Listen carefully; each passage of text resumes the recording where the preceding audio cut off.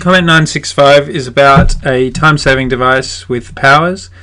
Um, it basically says that if you can see the same letter twice, literally the same expression twice, whether it's simple or complicated, and um, even if it's not a fraction, even if it's a um, division,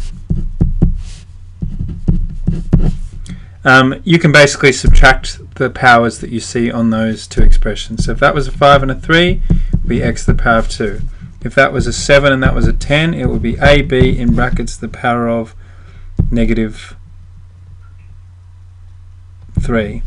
Um, and if it's, a, if it's a division, it works just the same. If that was a 10 and that was an 8, it would be ab in brackets the power of 2. So that's what comment 965 says.